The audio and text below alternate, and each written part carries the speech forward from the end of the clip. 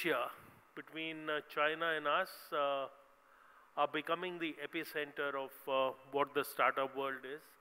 By whatever parameters, you look at the parameter of uh, those who've succeeded to become unicorns, you look at the parameter of number of startups, you look at the ecosystem, the fact that the Entrepreneur magazine can have an annual event and such a huge attendance uh, because a lot of us are either already entrepreneurs or aspiring to be entrepreneurs. Uh, in India, we had eight unicorns in 2008, the most in a single calendar year. We moved to the 57th rank, and Bangalore is among the top three cities. And India as a country is, uh, is among the, th the, the third as a country. So we are the third largest ecosystem that gives you that it is fertile ground to be able to put the seeds. You know, about what, 25, 30 years ago, when I started and I became an entrepreneur, I left my job with the GE to start my own company. Startup was not a sexy word that it is today. Entrepreneurship was not an expect, accepted term. Like one of my aunties, if many of you from Delhi will understand Punjabi, one of my aunties came and said, Putar ki hoya, cut dita. That they sacked you from your job, that is why you're saying you're setting up your own company. And any effort to explain to her that I have aspirations to do, to use my knowledge to leverage the opportunity and create something different fell on deaf ears. There were some very tough family dinner uh, time conversations that I remember I had at that point of time, and they were able to influence my parents, who after the dinner turned around and said, uh, Let's talk about it. Are you doing the right thing? Your employers are still saying, Don't leave, because I was serving my notice period. And are you doing the right thing? Is it the right thing for you to listen to your employers and, and stay? So a lot has changed in this uh, ecosystem to where uh, we are today. So what is the enabler of this uh, ecosystem? One of the uh, big enablers of this is the incubators and the accelerators. Last year they grew by 11%. But what is important is that these incubators and accelerators by type, etc., come from both the corporate world a lot of companies are initiating an incubator or an accelerator where they showcase their technology so that the startups start using their technologies and when the seed becomes a plant, the plant becomes a tree, and a tree becomes a huge fruit-bearing tree, it is their technology that is being used. There is a vision for there. It is for profit promotion by them to create these accelerators and, uh, and incubators. And then there is a government supported aspect of it, where the government wants to create the, a level playing field and a ground where uh, people can participate. Again, when I started my journey, this did not exist. Mentorship did not exist. You could hire consultants who were not really mentors, who never set up an industry or a company or a startup of their own, and you had to pay good money to get any advice. So this is a sea change of, uh, of uh, what has happened uh, in this environment. So a lot of the, the startups, and I'll talk a little about it, are working on AI, IoT, uh, artificial intelligence, virtual reality, a whole lot of things that are buzzwords just literally four or five years ago. And uh, what is interesting is that uh, approximately 38% of these accelerators are not in larger towns, they are in small towns and cities. So both the government and corporates play a crucial role acting as a catalyst to initiate that reaction. So I've, I've taken three examples just to give you a little flavor. A corporate accelerator, uh, the NetApp accelerator run by one of the corporates, they bring out what they focus areas are uh, what they offer to the accelerator. Uh, there are some grants, there are some equity participations, there are markets, there are inputs, there's technology, all of that, and they are very successful models that corporates run or private individuals or private entrepreneurs run because running an accelerator is, is an activity by itself. And then there is a state government incubator, the T-Hub. And I've had a chance of visiting this uh, multiple times, and it is quite fascinating as you go into the T-Hub, the sheer energy that you see there. And the first time I visited that, I came out saying, I don't even, uh, can't even realize that this is where the government participates. Uh, again, the focus areas are food, education, healthcare, finance. Uh, they bring the government capabilities and they bring the ability to bring in what a startup needs. But my favorite example is the next one which I think is one of the most fascinating steps taken by the central government of what is BIRAC for biology and uh, uh, biotech and the other capabilities where they actually incubate. I am now uh, an investor uh, in about four companies that uh, were incubated by BIRAC or they gave some initial grants. Uh, 4 as a percentage, I have 70 plus investments, so 4 as a percentage is not very large, but in terms of the excitement of the of what these companies are doing, uh, there is, for instance, a company that is uh, creating human skin using 3D printing.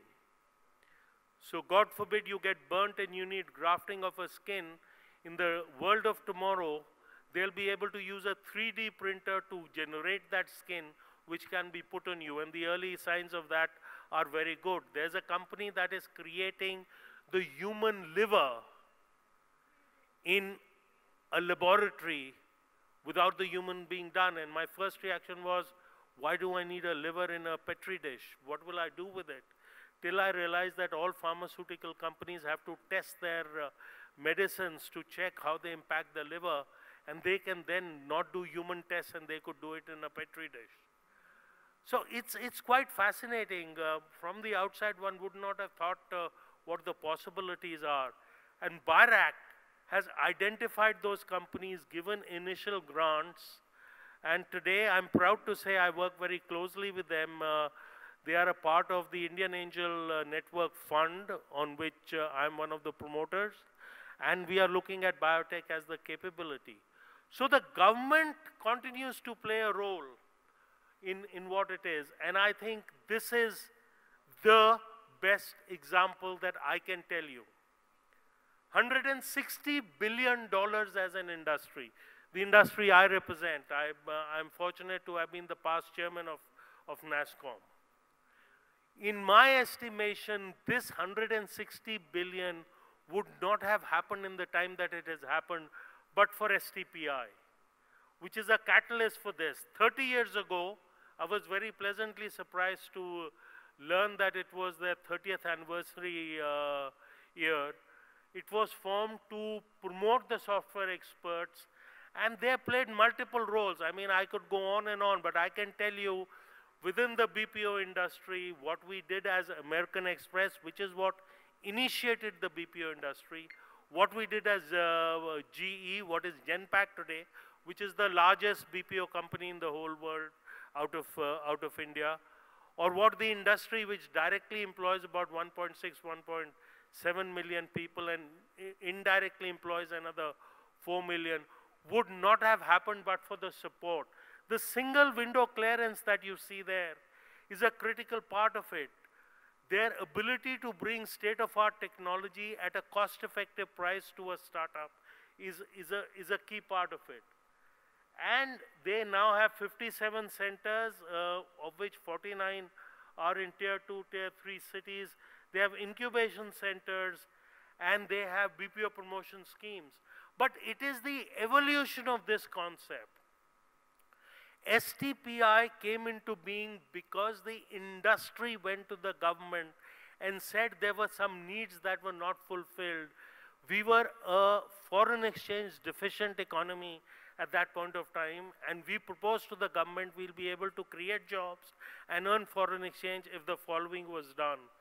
This entity was formed by the ministry, the, uh, the IT ministry. And that is a perfect BIRAC was formed by the health ministry. STPI was formed by the IT ministry. So it promoted those aspects.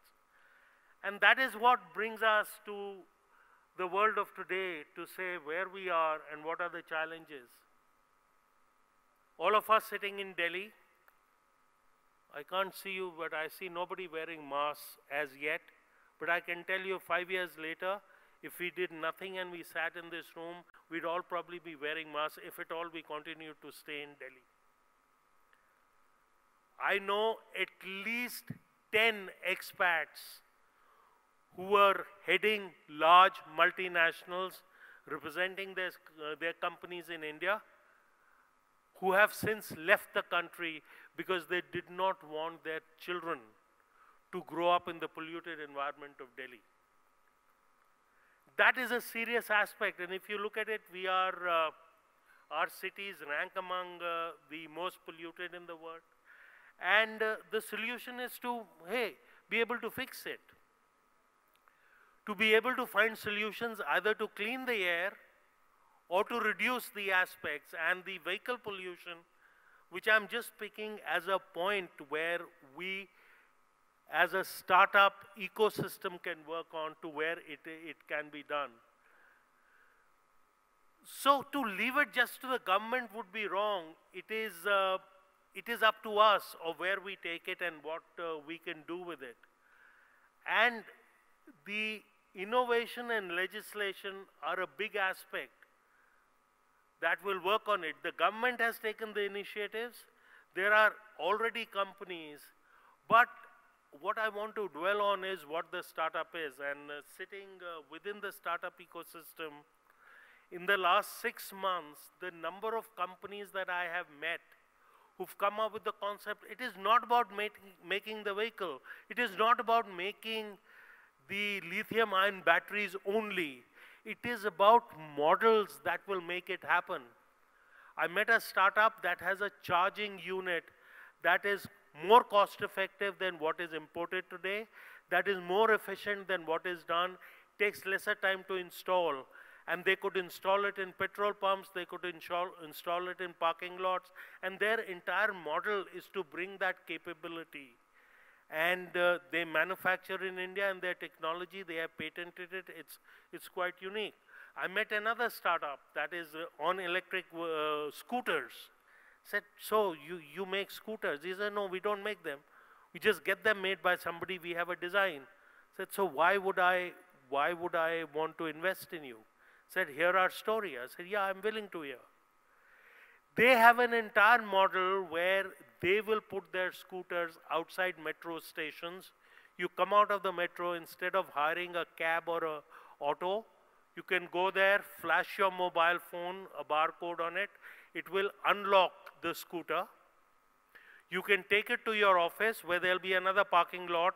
You put it there, flash your mobile phone, and they will take into account how many kilometers they've run, and they'll charge you by the kilometer. You don't need to wait for autos. You don't need to do anything, and it is electric vehicle. It is uh, uh, uh, eco-friendly. They do the charging. They do the maintenance. So that I got me pretty excited, and then they told me how they finance it.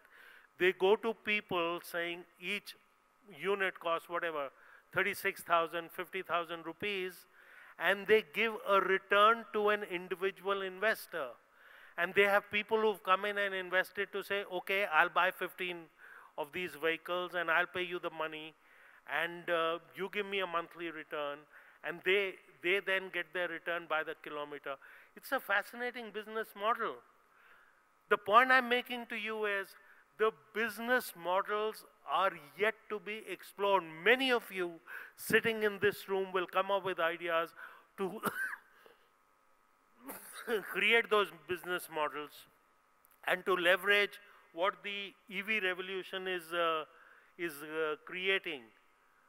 Entrepreneurs just don't create uh, uh, wealth and jobs. They also play a part in solving the problem. If you solve the problem, yes, revenue will happen and yes, profits will happen. So will investors.